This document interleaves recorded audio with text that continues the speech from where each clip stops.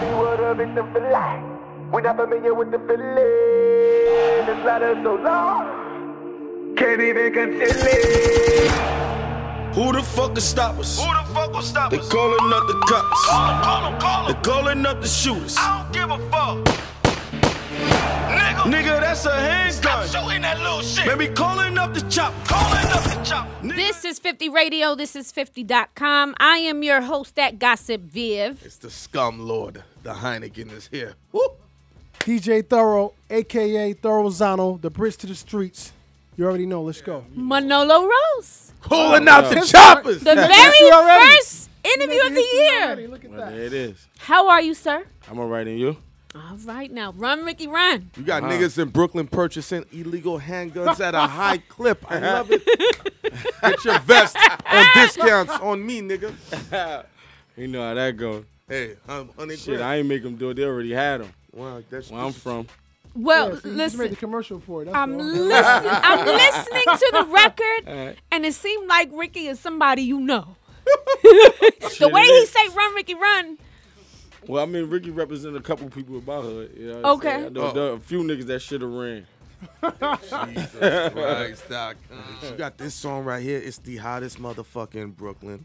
Uh-huh. Top four club record all over the city. Mm-hmm. Straight up DJ say it. Right. It's about to spread to the south, really, Right. if it hasn't already. Yeah. Because you know, it.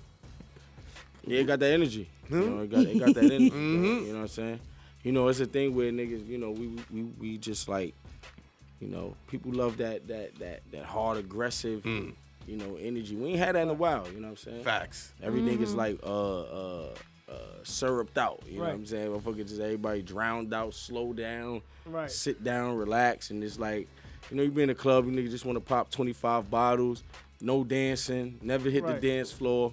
You know what I'm saying? I just want to turn up, bro. Even the way you did it was genius. You did it. So, you did it to where everybody can identify with it. You Right. used the Menace II Society, the Yeah. fucking Juice, Yeah. even the uh, Hall of Nights. Like, Right, you, even the Hall you Hall know what I'm saying? The Boys in the Hood. Everybody can identify with that, at least Right. minority wise. Right, definitely. So that was genius. You know what it's saying? called urban now. Urban, right? That's what they saying. Whatever. I don't know. You know, Well, we you know. minorities, but it's urban to You the know what I white mean? You just had to, I guess, making it, you know, making the shit, making the joint flexible, man. Right. Where it's like, uh, you know, with, where people, and the, and the crazy thing is when I did it, I didn't seek out to like make it where, you know, I'm just putting in my my, my input on what I like to do. You know Right, what I'm right. saying? And it wasn't even for that, but you know, at the end of the day, it's like I'm a people person, man, and it's like uh, we just ain't have a person where it's like that people could really identify with in a long time, man. I just want to be that guy. Right. That's all. So, is there? I mean, the single was hot. Is Right. there an album to follow? A Yeah, mixtape? it's a it's an EP that we dropping. You know what I mean? Concrete Rose. That's gonna be really Mm. good. You know what I'm saying? It's a it's a bunch of joints in there. We're gonna have a, we're gonna make it something something small, but it's something uh, uh, in a way where you will get to really really really know me as a and as a, as an artist and as a person. You know what I'm saying? Because I'm a person that put uh you know a lot of my personal stuff and my personal feelings and Right. you know the things that I've done into the records and so forth. Uh oh. Let's let, let's go let's go to what got you noticed before Uh-huh. this record. Let's go into the all about the money. Uh huh. I know you. you I, I've seen you know several interviews Yeah. you've done talking about this record. Right. For for people that don't know, what's the history behind that song and how did it come about? Well, What's you know how that? you know how it came about. You know what I mean. Well, originally it was the record I had called Dope Man, and um, and um, it was just me, me, you know, the producer named Rufio. He sent it to me, and you know, we wrote it and went from there. You know what I'm saying? But from there, I had my homie playing it at uh at Troy Avenue barbecue and stuff like Yeah, that. so, So you know, he played it there, whatever, whatever, and um, you know, DJ Act Murder, whatever, he played it.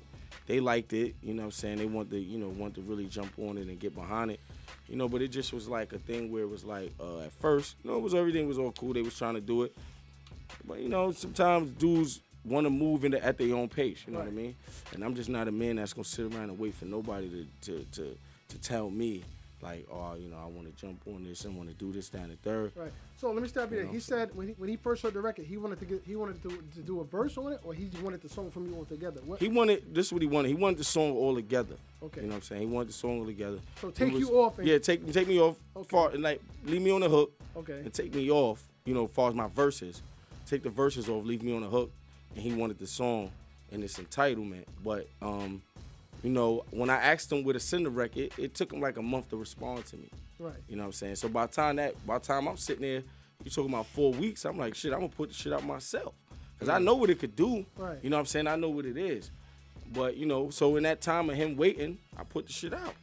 Okay. And then af- after me putting it out, you know, he they still was like, yo, I was like, yo, I'm about to shoot a video for it. They're like, nah, don't shoot no video for it, just hold off. And I'm like, I'm not holding off no more. I, I done sat here and waited for you for you guys for a whole month. You know what I mean? Right. So within that time span of me putting it out, you know, they still was trying to now they try to reach out and be like, oh, let's do it. But I was like, yo, you know what, I'm gonna keep it for myself. I put it out, I'm gonna keep it for myself. It's over. But um in that same time, you know, a week go by, he said, yo, I'm gonna I'm remix the joint. I might remix it, don't be mad. I said, I don't care if you remix it, because in my head, I'm like, you remix everybody's yeah. shit. So Yeah. I was like, yeah, remix my shit too. Right. You know what I mean? But when uh week, like next two weeks, you know what I mean? Uh, somebody called me and was like, "Yo, you on the radio, bro?" I'm like, "What?" So I, I, I when I answered the when I put the radio on, I'm on the radio, but it's like it's him and Lido with the verses, him saying, well, he flipped my whole second verse and made it his verse, his verse. and even took some of the lines out of my verse and then used them. And it's so We many talking about songs. Troy Ave? Troy Yeah. Ave. Yeah. Oh my. Yeah. Yeah, I mean, I mean, at the end of the day, I mean, it's like, yo, you know, so, you know, so when he did that, you know, you know, I had to, you know, double back and just make it right. You know what I mean? Right. That was it. I mean, because now this shit, you know, like sometimes people don't come back from that, right? They don't. And because it's that's reminiscent of what happened with YC and um And- and Future. Facts. when he was like, "Yo, that racks on racks is mine," and make another one. And that Right. nigga hit him with that Tony Montana, and Right, and killed him. You know what I mean? But so, how, did you have that other song lined up Already? Yeah, Um, that Run like- Ricky Run. You Not- had that lined up? Mm-mm, because you know the crazy thing is, I had, I had the uh the All About the Money track was done in probably like spring. All right. It was like spring. You know what I'm saying? Going into the summer. Right. And um, so as all that time we running into the record, we turned up to the shit for a whole summer.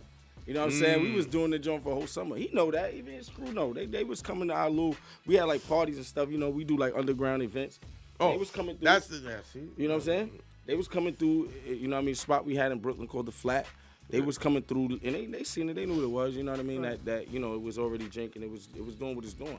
You know what I mean? So I had the Run Ricky Run joint, maybe like, you know, after everything was like working out, you know what I'm saying? We trying to see what we gonna do. They did what they did. Then I made the Run Ricky Run, you know what I mean? Right. Because I already knew, you know what I mean? Because my thing is like this, you know what I mean? At the end of the day, it's about your counter move. You know what I mean? They can make any move you want to make. You know what I mean? On the chessboard. You know, it's about what you do after you make that move. Let me ask you something. Where, where you at with you and Ave? Like, is With it him? just yeah? Nah, nah, having them, Just, you know what I'm just, saying? just clean it up now, Yeah. because everybody's not gonna know. Yeah. So what's? How do y'all move on? Do y'all Um, have future records to put together? Well, well, we probably don't have no future records to put Um, together. yeah. But nah, at the end of the day, it's like, you know, I don't harbor any personal feelings Mm-hmm. towards him. And he shouldn't harbor any, any any towards me. You know what I mean? It is what it is at this point. Because your Right. record is like this in, in the city, like Yeah. 42nd Street. Yeah. Where the people they they're Yeah. like, hmm it's Right, it's growing, Mm-hmm. and, and and and that's what I said. Like I, you know, I moved on. You know what I'm saying? I'm on. A, I'm, I'm I'm I did the Run Ricky Run, and it, and it's doing what it's doing. And he put out the Doodle record, so that's that's cool. Run, Ricky, run. Run, Ricky, run. Run, Ricky, run. Run, Ricky, run. The nigga sitting out the window. Damn. The homie about to dump. Dope boy's a motherfucking fool. He a motherfucker. He should have killed the Jheri curl head nigga when he had the chance to. The moral story is you never let a nigga get away with nothing. She hopping out the whip like Trey when she see the young player stunning hard at the red light. And I be pulling out the chopper, got you niggas wide